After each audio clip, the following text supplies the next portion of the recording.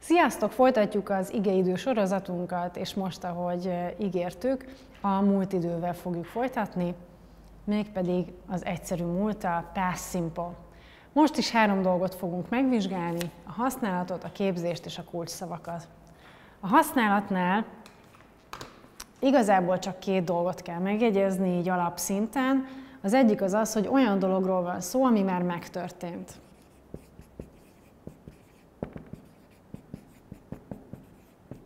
Na jó, de hát ez minden időre igaz, igaz? Hát nem, mert itt fontos, hogy egy olyan megtörtént dologról van szó, ami nem ismétlődhet meg. Tehát nincs a jelennel semmiféle kapcsolata. Itt van egy nagy fal a kettő között, itt van a megtörténésünk, és itt ez már nem történhet meg ismét. A másik, hogy amikor mesélünk egy történetet, akkor az egymás után, a múltban egymás után következett dolgokat is past simple-ben fogjuk elmesélni, és ez igaz a tündérmesékre is. Tehát például Little Red Riding Hood, ami angolul a piroska. Uh, jó. Tehát egymás után megtörténnek a dolgok, és ez a történet mesélésnek az igéide a past simple. El akarod mesélni a tegnapi napodat, reggel fölkeltél, fölöltöztél, nem mentél sehova, hanem odaültél a számítógép elé, megebédeltél, tanultál, stb. stb. Ezt mind past simple-ben fogod mondani, jó? Képzés. Van egy jó és egy rossz hírem. A jó hírem az az, hogy mindegyik személyben ugyanúgy kell képezni az igét. Urá! Viszont cserébe van egy csomó uh, ilyen mindenféle rendhagyó igeragozásunk. Körülbelül van 60-70, de azt megtaláljátok a könyvnek a végén, és egyébként meg fogtok találni linkben uh, egy olyan uh, videót, ami úgynevezett Irregular Verbs Rap, akiket tanítok már biztosan ismerik, de hogy ez egy teljesen vicces módja annak, hogy megtanuld az ilyen rendhagyó igéket, ugye, hogy reppelve is meg lehet tanulni. Én a kántálást szoktam javasolni, magyarul hangosan mondott, cut, cut, cut, begin, begin, begun. Oké. Okay. De most nézzük a képzést. Például I ate breakfast. This morning. Jó. Mi történt? Az eat igének a második alakját tettük ide. Tehát V2, ami a verb, ugye? V2. Jó. Megegyeztünk, hogy minden igeidőben, minden tagadásnál és kérdésnél kell segédige, igaz? Tehát I didn't,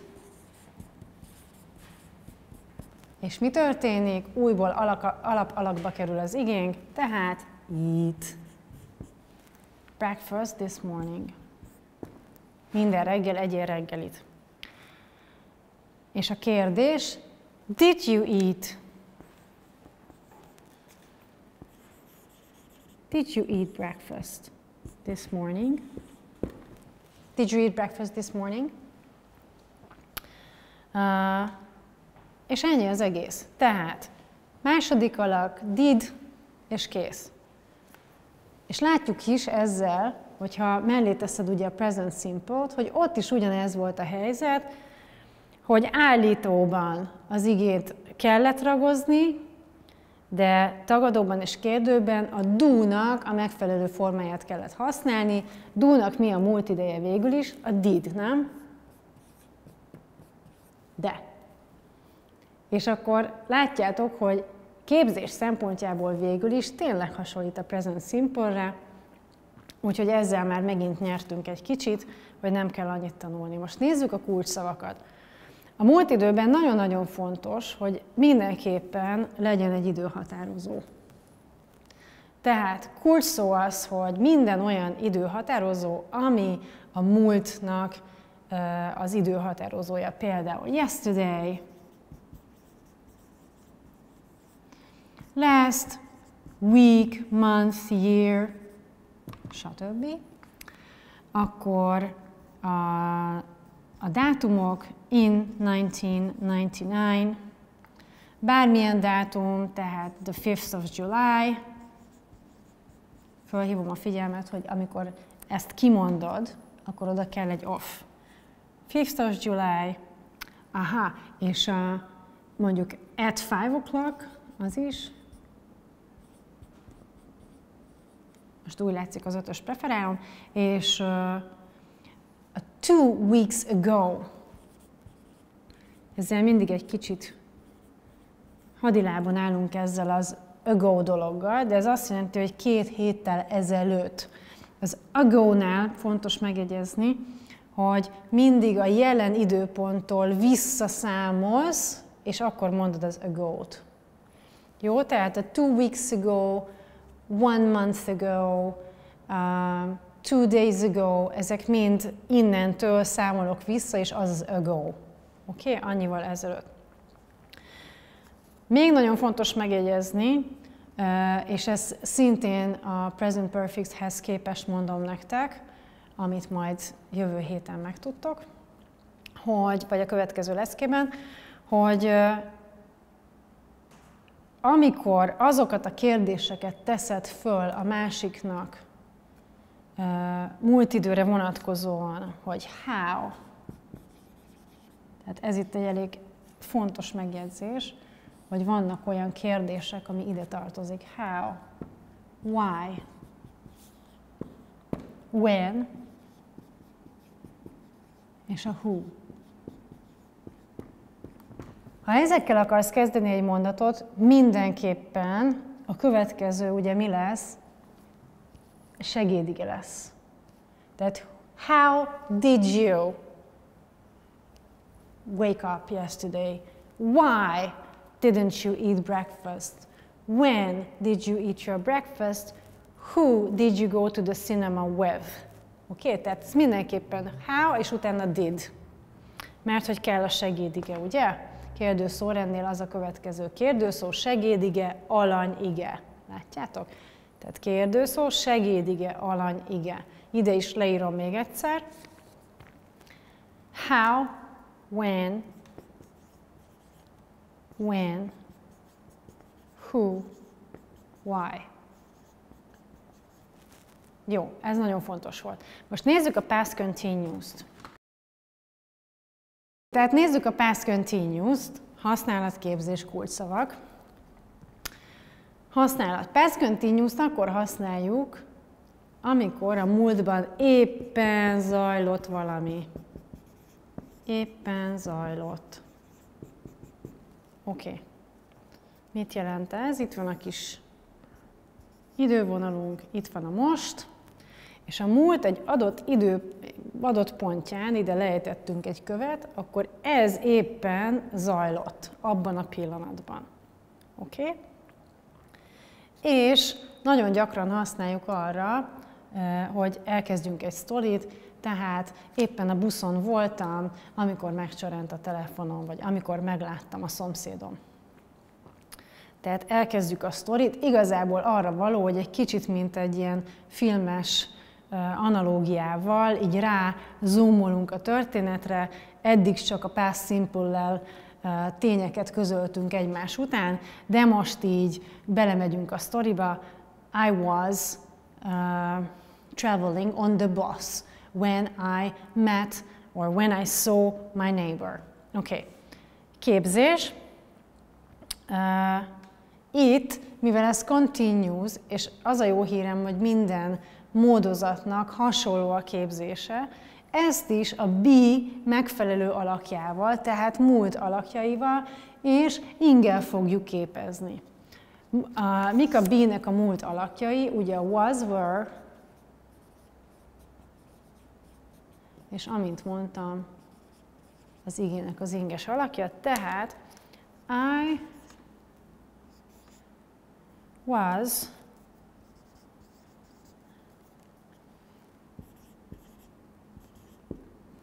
having, és itt van, amiről beszéltünk a múltkor, hogy a reggelizni ugye az a have breakfast, és ezért a have-et most inges alakba rakhatom. I was having breakfast at 8 o'clock. Alright. Aztán letagadjuk. I wasn't having breakfast at 8 o'clock.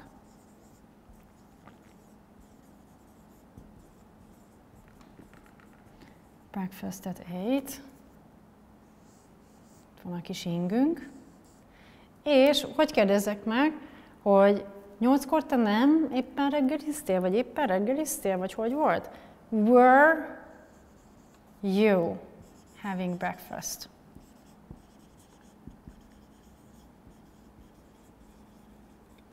Were you having breakfast at 8 o'clock? Nem tudunk emlékezni, és megkérdezzük a másikat. Itt is ugye a kérdőszórend, az csak az alany és a segédige megcserélése volt. Was, were vagy ing. Oké, okay. kulcsszavak. Mivel itt is arról van szó, hogy éppen valami zajlott akkor, de a múltban zajlott, ezért a kulcsszavaink az egész igéidőre azt mondhatjuk igazából, hogy akkor éppen. Ez az akkor éppen igéidőnk, jó? Akkor éppen. Tehát kulcsszavunk minden olyan uh, múltat jelölő időhatározó, ami a múltban egy pontos időpontot jelöl meg. Tehát, yesterday 8 o'clock. Yesterday at 8 vagy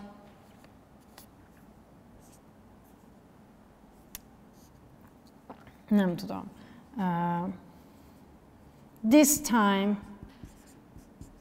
tehát pontosan ilyenkor, this time last year.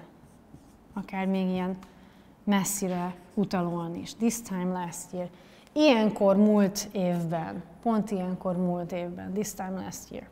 Tehát, uh, Alapvetően azt fogjuk megnézni most, hogy ugye a past continuous meg a past simple fogjuk összehasonlítani, hogy az a jó hírem van, hogy igazából nem is tudunk tovább menni nagyon a past continuous-szal, amíg nem hozzuk be a past simple-t. Ugyanis leggyakrabban a past continuous a past simple-el együtt használjuk, és úgy használjuk, hogy ezt úgy használjuk, mintha kulcs szó, mintha a múltbeli történés az egy past simple esemény lenne. Tehát például éppen reggeliztem, amikor megszólalt a telefon. A megszólalt a telefon, az egy rövid esemény, ugye? Megszólalt a telefon. És ami akkor éppen zajlik alatta, az past continuous, ami megszakítja azt a folyamatot, az pedig past simple lesz. Tehát Mutatom nektek ezt a képet, az első képen. My father was chopping onion yesterday. És akkor hozzávehetjük azt, hogy például éppen hagymát vágott apukám, amikor hazaértem. My father was chopping onions when I arrived home.